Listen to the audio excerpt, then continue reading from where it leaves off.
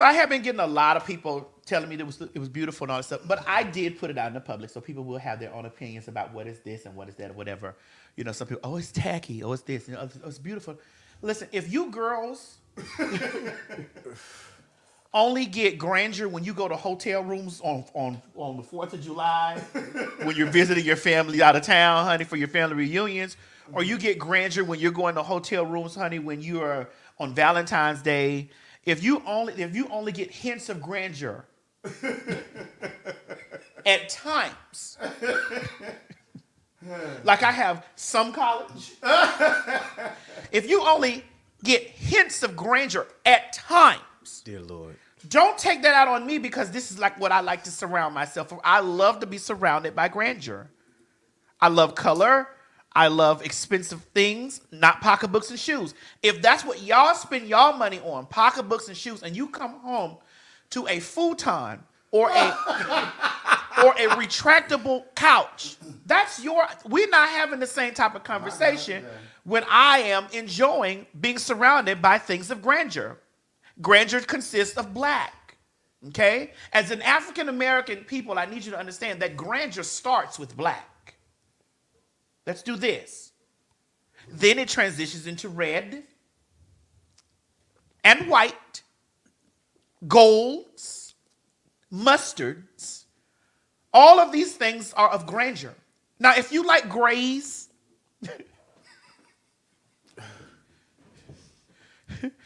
if you're grays and beiges and stuff like that, that's fine because you have to get your, because I shop here too.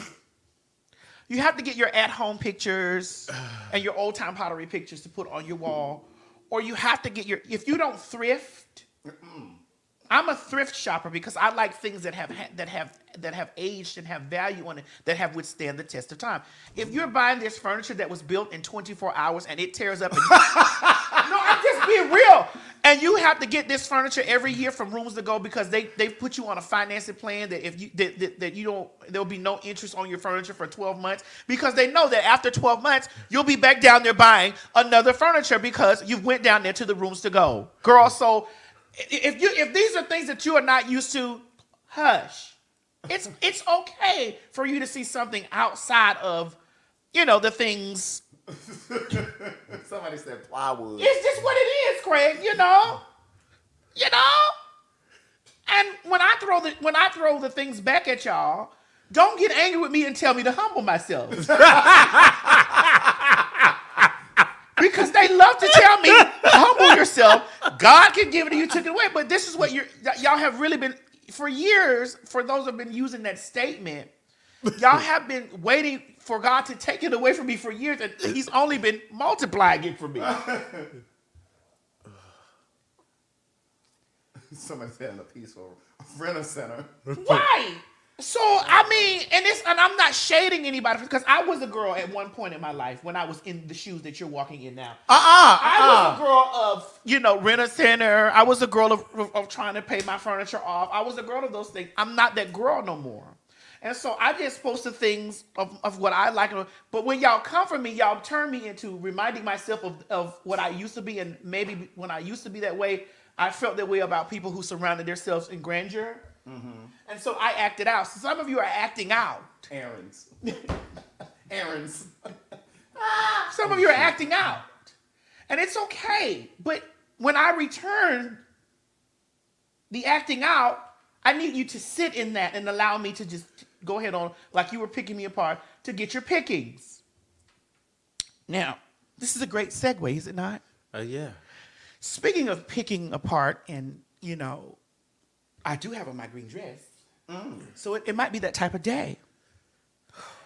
Recently, Deficit K sat down with Pierre on his show. And of all the things they could have talked about, and all the people and places and stuff that they could have talked about, he decided, well, they decided to talk, have this conversation. Put it out there, come on, so that we know. They decided to have this conversation about why I am not, I don't like, uh, why we have pressure with each other, this and the other. And because she's a liar, and the liar that she is, she sat on that sofa with those freshly bought titties. You see that? do you see those freshly bought titties with their? Do, is it not making her? Aren't our shoulders kind of looking the same? You see, she has that huge upper body. Like she has on a, a waist shaper and it just sucked her up. And she had this huge upper body with this small head with those Beijing waves tatted on the top of her skull. And so she sat there on that sofa and with this, what possessed her to put this sweater dress on? swollen like this. For the love of God, ever since I've known Deficit K, I've known her to be a slim woman. Now she's over here. And one thing I've learned about people that feel some type of way about you, uh-huh. as much as they read you, they admire you. Mm. So she's been over there swelling herself up to somewhat similarize herself like the TS.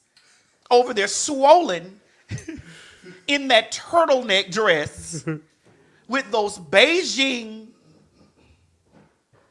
ocean waves sitting over here on top of her head with those dentine white ice chip teeth in her mouth. Dear Lord. And when I look at this person, I look at this person and I look at this person from the perspective of a person that has sat around, just like when they love to call on Kaya, because they love to call Kaya's name when they're having something about. my What are we doing, Mo? Is the mic moving around? No, no, no. I'm just checking something real quick. Okay. When when we sit here and we look at this person, they're just like Kaya used to read everybody walking and then went out there and instead of fixing her mouth, she got her ass pumped. And so instead of paying Cardi B, she has went out, bought teeth, titties, an ass. And these are the same people that sit around and talk about people the way they look and, and talk about the, the, the girls. No, don't move it. No, we're talking about this person. talking about the girls, the way they look and all this stuff. And then they go right out there in the world and they start to completely imitate them. Right?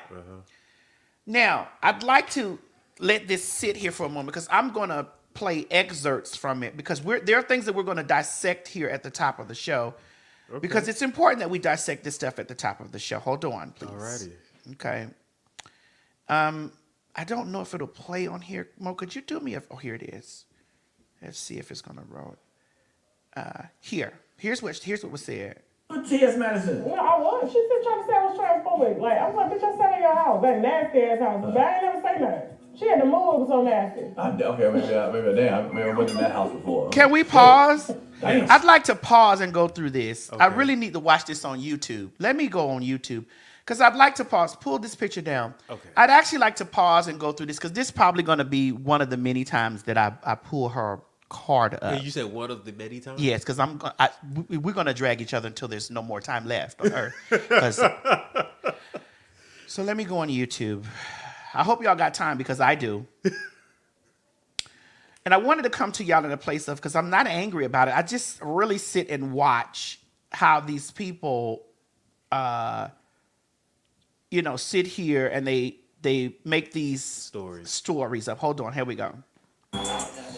All right. Did you say So here we go. pour a Jew, though. No, no, no. Hold on. No, cut out. So you keep on having a good time. Talk, say all the shit you want. okay? Hold on, let me see. Oh, yeah, yeah, I was there. I, I saw it. I got a fit. COVID. When I was sitting Here we go. Did not. And he's a drug dealer, and I'm not a drug dealer. Here we dealer. go. to my viewers to cover her. So now I'm transphobic. But when Yeah, was yeah, I transphobic? When I was sitting in your house doing your shows, help. Here we go. when was I trans? Here we go. Let's go here. Before that, I would you know, you see that? never go But to if I a- go to transgender house, all of a sudden I'm transgender No, now. So because Pierre is my friend, you know, he's all and Pierre and most you Mo is a straight man. You know, these these these insecure women, because this is definitely insecure women. You can tell by how she went out and talked about all those women and then started adding all these things. Mm-hmm. Those are insecurities, right? So let's go. This insecure woman sat here with this man, and she she she spoke on uh, uh me saying that she was transphobic. The internet is still here, is it? Is it not? Yes. Are we not on the internet right now? Yes, we are. I pay somebody out there right now $100 per video. I'll say this again. I'll pay someone right now $100 per video that they find of me saying or telling y'all that Tasha K was transphobic. Hello? I'll pay someone out there right now $100 per video for, hearing me come out of my mouth and say that Tasha K was transphobic because I've never said that Tasha K was transphobic. I said Tasha K is a puss ass hoe. I said she's a foot dragging, dirty bitch. I say she has a faggot ass motherfucking husband. I say she has retarded kids. I say, bitch, that her motherfucking uh that, that she a puss ass hoe again. She's a fuck nigga. These are the things that I've said about her that you can go back and you can nappy neck. These are all the things that I've said about this person. So when you really go forth and you start dissecting things like we're gonna do for this moment, we're gonna sit on her for a moment because these girls like to take my name and make coins off of them. I'm about to re- I'm about to return the, the favor.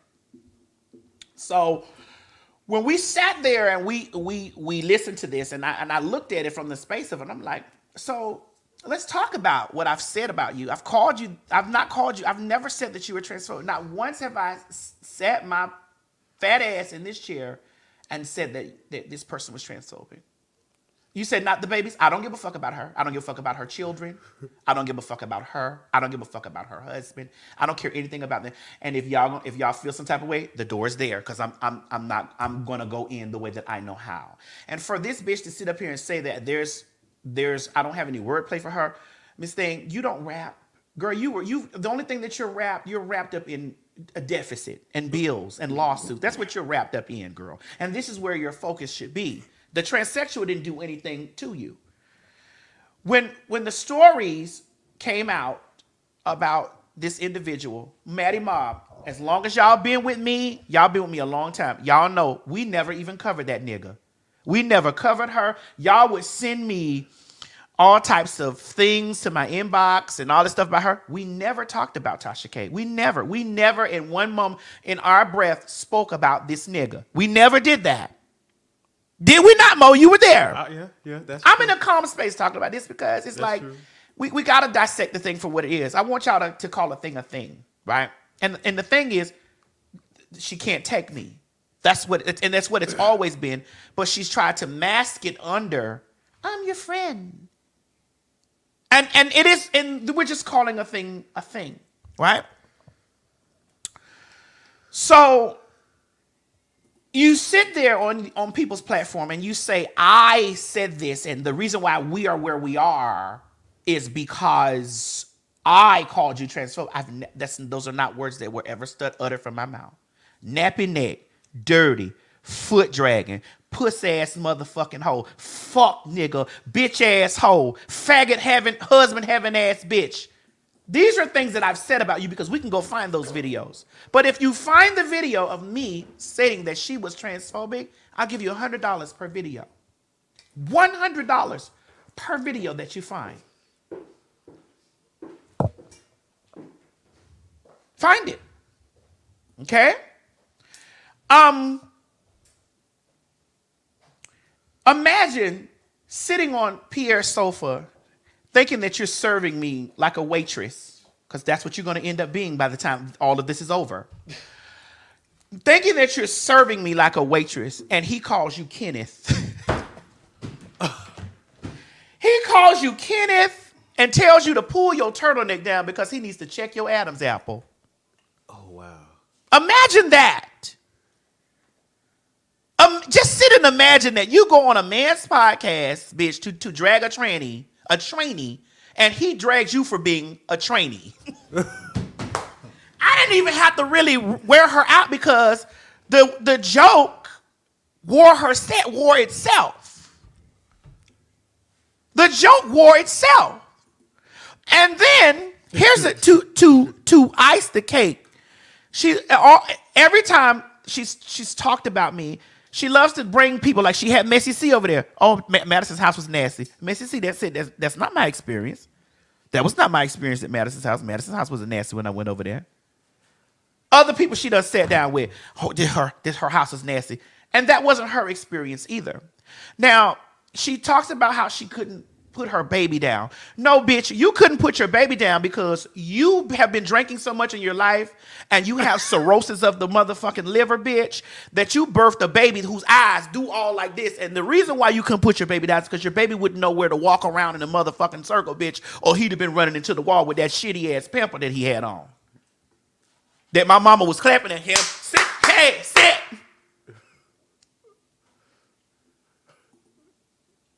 Hey, hey.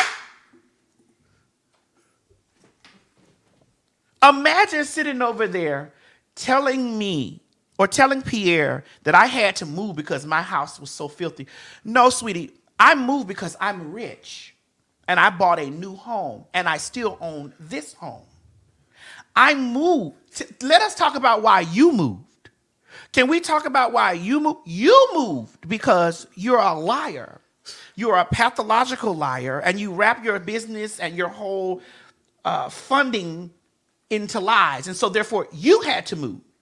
And you had to move into an apartment complex where you're now paying rent. Now, somebody's over there renting out that house, but the moment that it comes for sale, because it will, I'm going to buy it and knock the bitch down. But my thing is, when I really sit and look at you, I look at you from a, a miserable person that spoke from your mouth and said, I'm a real woman. Talking about a tranny now, because I, I, I stand on me being a transsexual. I'm a real woman. But what has your real woman pussy done for you? You you you have funny looking kids. You've birthed funny looking children.